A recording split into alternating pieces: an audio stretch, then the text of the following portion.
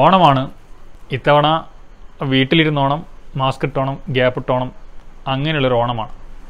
അപ്പോൾ ഈ ഓണത്തിന് നമുക്ക് ഓണപ്പാട്ടിനെ പറ്റി ഒന്ന് ചർച്ച ചെയ്യാം. പിണറായിക്കാരൻ രാഷ്ട്രീയം മാത്രമേ സംസാരിക്കുകയുള്ളൂ എന്ന് ചോദിച്ച സുഹൃത്തുക്കളുണ്ട്. അവരോടായി പറയാം എനിക്ക് ചില ബോധ്യങ്ങളുണ്ട്. ആ ബോധ്യങ്ങൾക്ക് ഉള്ളിൽ നിന്നാണ് എപ്പോഴും സംസാരിക്കാറുള്ളത്. വീഡിയോയിലേക്ക് പോവാം. ഏവർക്കും പിണറായിക്കാരന്റെ ഓണാശംസകൾ നേരട്ടെ. ചാനലിലെ വീഡിയോകൾ ആദ്യമായി കാണുന്നവരാണെങ്കിൽ സബ്സ്ക്രൈബ് ചെയ്യുക വീഡിയോ ഇഷ്ടപ്പെടുകയാണെങ്കിൽ ലൈക്ക് ചെയ്യുക നിങ്ങളുടെ അഭിപ്രായങ്ങളും നിർദ്ദേശങ്ങളും കമന്റ് ബോക്സിൽ താഴെ എഴുതുക. നിങ്ങളുടെ സുഹൃത്തുക്കളിലേക്ക് ഷെയർ ചെയ്യുക. അപ്പോൾ ഓണപ്പാട്ടിനെ കുറിച്ചാണ്. ചിങ്ങം പറന്നാൽ നമുക്കിപ്പോൾ ഒരു ദേശീയ ഗാനമുണ്ട്. ടിക്ടോക്ക് കല്യാണങ്ങൾക്ക് ഒരു ദേശീയ ഗാനമുള്ളത് നിങ്ങൾക്കറിയാലോ. അതേപോലെ ഓണത്തിനുണ്ട് ഇപ്പോഴും ദേശീയ ഗാനം. ആ ദേശീയ ഗാനം ഏതാണെന്ന് ഇപ്പോൾ ടൈറ്റിലൂടെ തന്നെ നിങ്ങൾക്ക് മനസ്സിലായിട്ടുണ്ടാവും. ഞാൻ പാടാൻ നിന്നാൽ അത് ചിലപ്പോൾ നിങ്ങളുടെ ഈ വീഡിയോ ഇവിടം വെച്ച് അവസാനിപ്പിക്കും. അതിന്റെ ഒരു സെക്കൻഡ് പോലും അപ്പുറത്തേക്ക് കാണാൻ നിങ്ങൾ മെനക്കെടില്ല. അപ്പോഴെന്തായാലും ആ ഒരു സാഹസത്തിന് ഞാൻ മുതിരുന്നില്ല. ആ പാട്ടേതാണെന്ന് നിങ്ങൾക്കിപ്പോൾ മനസ്സിലോടിയായിരിക്കുമല്ലോ അല്ലേ? അതുതന്നെയാണ് ഒരാഴ്ച മുന്നേ നമ്മുടെ എല്ലാം വാട്സപ്പ് സ്റ്റാറ്റസുകളായി ഇൻസ്റ്റാ സ്റ്റോറികളായി പറന്ന ആ ഒരു ബീജിയുമില്ലേ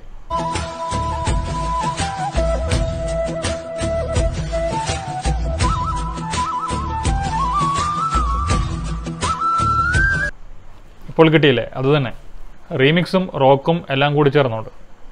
ആ പാട്ടിനെ നമ്മൾ പരമാവധി ഉപയോഗിച്ചിട്ടുണ്ട്. എന്നാൽ ഇതൊരു ഓണപ്പാട്ടല്ല എന്ന് പറഞ്ഞാൽ നിങ്ങൾക്ക് ഒറ്റയടിക്ക് വിശ്വസിക്കാൻ ചിലപ്പോൾ ബുദ്ധിമുട്ടിയെന്ന് വരും. സത്യമല്ലേ ഓണപ്പാട്ടിന് താളം തുള്ളും എന്ന് പറയുന്ന ആ ഗാനം എന്തു തന്നെയാലും ഒരു ഓണപ്പാട്ടല്ല. അതൊരു നാടൻ പാട്ടുമല്ല. മറിച്ച് അതൊരു സിനിമാ ഗാനമാണ്. നിങ്ങൾക്കിപ്പോഴും വിശ്വസിക്കാൻ തെല്ല് പ്രയാസം ഉണ്ടായേക്കാം എന്നാൽ ഉറപ്പിച്ച് തന്നെ പറയാം അതൊരു സിനിമാ ഗാനമാണ്. ഏതാണ് സിനിമയെന്ന് ചോദിച്ചാൽ രണ്ടായിരത്തി നാലിൽ പുറത്തിറങ്ങിയ കൊട്ടേഷൻ എന്ന് പറയുന്ന മലയാള ചരിത്രത്തിലെ ഒരു പാട്ടാണ് നമ്മളിപ്പോൾ ഓണക്കാലത്തെ ദേശീയ ഗാനമായി പാടിക്കൊണ്ട് നടക്കുന്ന ആ ഓണപ്പാട്ട്.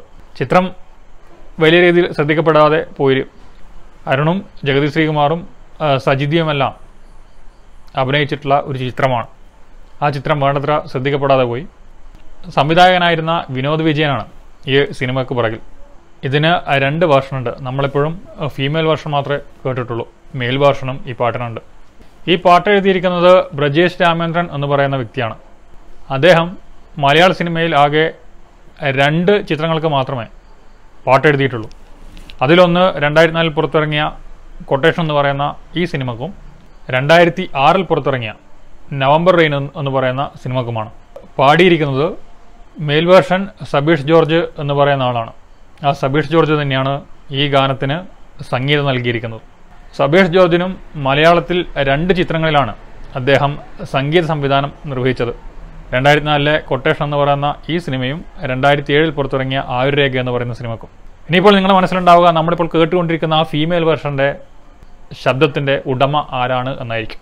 കല്യാണി എന്നാണ് പാടിയിരിക്കുന്ന ഗായികയുടെ പേര്. കല്യാണിയും വിരലിനുണ്ടാവുന്ന മലയാളം ചിത്രങ്ങളിൽ മാത്രമേ പാടിയിട്ടുള്ളൂ. ഒൻപത് സിനിമകളിലായി ഒൻപത് പാട്ടുകൾ മാത്രമാണ് മലയാള സിനിമാ ഗാനരംഗത്ത് കല്യാണിയുടെ സംഭാവനയായി വരുന്നത്. അതിൽ ഏറ്റവും പ്രധാനപ്പെട്ടത് ഈ സിനിമയിലേതാണ്. ആ ഓണപ്പാട്ടൻ എന്ന് പറഞ്ഞു തുടങ്ങുന്ന ആ പാട്ട്. രണ്ടായിരത്തി മൂന്നിൽ തുടങ്ങി രണ്ടായിരത്തി പന്ത്രണ്ട് വരെ നീണ്ടു നിൽക്കുന്നതാണ് കല്യാണിയുടെ മലയാള സിനിമാ ഗാനരംഗത്തെ പ്രവർത്തനം. അപ്പോൾ പറഞ്ഞു വന്നത് ഓണപ്പാട്ടല്ല ഈ പാട്ട് എന്നാണ്. പാട്ടിന്റെ മുഴുവൻ വരികളും വീഡിയോയുടെ ഡിസ്ക്രിപ്ഷനായി ഞാൻ ചേർക്കുന്നുണ്ട്.